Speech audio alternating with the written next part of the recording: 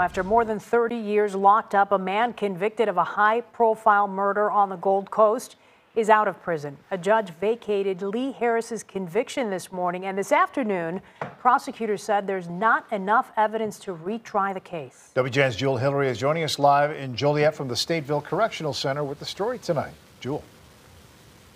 Hi, good evening, Lourdes and Ray. A few hours ago, Lee Harris was reunited with family and friends here outside of the Stateville Correctional Center in Joliet.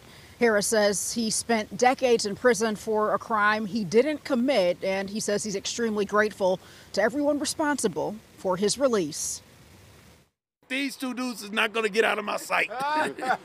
Joined by his son, two best friends, and legal team, 67 year old Lee Harris is a free man after serving 33 years behind bars. I'm feeling amazing. Shortly after his release, Harris's son Jermaine took his dad to get a burger on the south side. Oh, get a photo of this. Harris was sentenced to 90 years for the 1989 Gold Coast murder of Dana Feitler. I got 90 years for killing somebody I have never seen. Harris was an informant previously used by the detectives working the case. He said they supplied information for him to repeat. Never did he imagine it would be used to convict him. Harris has claimed his innocence from the very beginning. It was times that I, I thought it wasn't gonna, we wasn't gonna make it, and he said, "Hang in there." Harris is referring to friend and former cellmate Robert Chatler.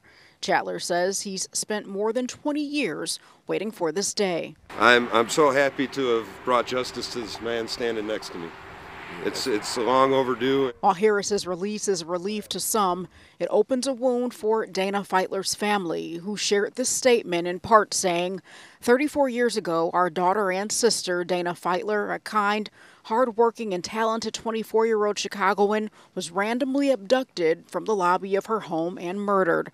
A person with a long criminal record was arrested and confessed to the crime. He was convicted and sent to prison by a jury of his peers for what was to be the rest of his life.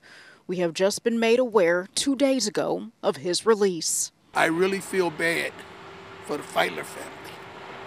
Really, I do. Because for 33 years, they have lied to them and told them they had a person that committed that crime. In the next couple of days, Harris plans to go to Texas to visit his friend Robert, but tomorrow he's planning on attending a Bulls game with his son.